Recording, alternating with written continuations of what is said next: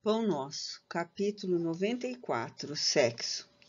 Eu sei e estou certo no Senhor Jesus que nenhuma coisa é de si mesma imunda, a não ser para aquele a que tem por imunda. Paulo, Romanos, capítulo 14, versículo 14. Quando Paulo de Tarso escreveu esta observação aos romanos, referia-se à alimentação que na época representava objeto de áridas discussões entre gentios e judeus. Nos dias que passam, o ato de comer já não desperta polêmicas perigosas. Entretanto, podemos tomar o versículo e projetá-lo noutros setores de falsa opinião.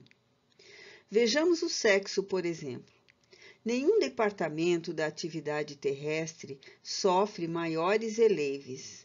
Profundamente cego de espírito, o homem, de maneira geral, ainda não consegue descobrir aí um dos motivos mais sublimes de sua existência. Realizações das mais belas na luta planetária, quais sejam as da aproximação das almas na paternidade e na maternidade, a criação e a reprodução das formas, a extensão da vida e preciosos estímulos ao trabalho, e a regeneração foram proporcionadas pelo Senhor às criaturas por intermédio das emoções sexuais. Todavia, os homens menoscabam o lugar santo, povoando-lhe de altar, os altares com os fantasmas do desregramento. O sexo fez o lar e criou o nome de mãe. Contudo, o egoísmo humano deu-lhe em troca absurdas experimentações de animalidade, organizando para si mesmo provações cruéis. O pai ofereceu o santuário aos filhos, mas a incompreensão se constitui em oferta deles.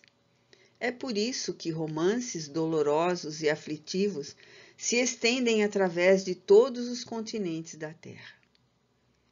Ainda assim, mergulhado em deploráveis desvios, pergunta o homem pela educação sexual, exigindo-lhe os programas. Sim, semelhantes programas poderão ser úteis, todavia, apenas quando espalhar-se a santa noção da divindade do poder criador, porque enquanto houver imundície no coração de quem analise ou de quem ensine, os métodos não passarão de coisas igualmente imundas.